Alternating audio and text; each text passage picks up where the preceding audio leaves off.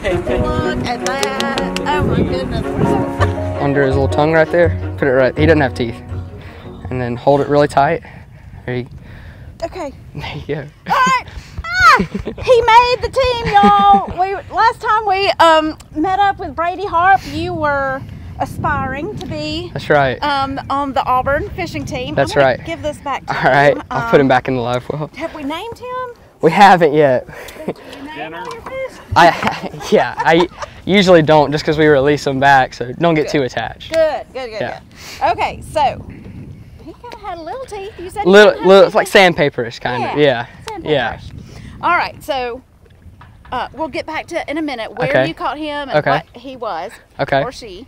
Um, uh, we got to acknowledge this.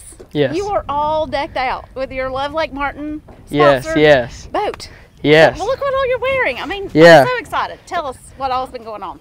Well, uh, since we last talked, I did all the Auburn qualifiers and I qualified for the top 12 team. So that I got a lot of you know jersey and and uh, all this free gear and stuff from the Auburn team. So we've been fishing nationally. Uh, in a few weeks, I'm gonna be going to Missouri to fish, and I've been to you know Georgia and across the state of Alabama fishing uh, collegiate tournaments. Oh my word, are you having the time of your life? I'm having a blast. I like I like being able to represent Auburn, having a jersey with my name on it. So Yes. I'm living the dream. I know. Look, Brady Harp. Yep. We know him. We love him. Yes, ma'am. I'm- okay, so uh, what is fishing season? Um, so the official coll- collegiate tournament trail starts up um, typically like beginning of February and it runs through end of summer. So this year I fished three or four tournaments so far and we're you know getting ready to fish the last few as the semester winds down and summer begins. So I'm excited. Okay, any time to study? Yeah, so it's a lot of time on the road, a lot of time, um, you know, traveling and stuff. But I've been able to, you know, everything's online right now, like with like school and all the textbooks. I've been able to study like at hotels and as we're traveling. So grades are still good, but Good. a lot of traveling. Good. All right, so tell us your favorite place to fish, Lake Martin, and um, but no, seriously, like where you've caught your biggest fish. What what was it? You know, do tell. Um, biggest fish I've ever caught, uh, bass wise, was seven pounds one ounce out of Toledo Bend in Texas.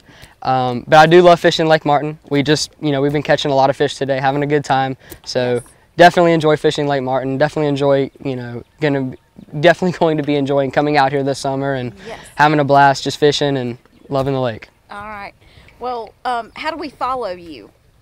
uh, through my Instagram. You can follow me at Brady for Jesus, or you can follow me through like the uh, Bassmaster Trails and FLW Trails, and then the uh, Cabela's Bass Trails. Those are the three tournaments we fish. Okay, what now? Brady for Jesus. Yes. We, we can do that. Yes. Okay, now then what? What about the So we fish. Auburn fishes three tournament trails. We fish the Bassmaster Collegiate Series, the FLW Collegiate Series, and then the Cabela's Collegiate Series. So those are the three. Uh, the one tournament we have coming up in Missouri at Bull Shoals Lake uh, will be a Bassmaster Collegiate Series. All right, watch out, Missouri.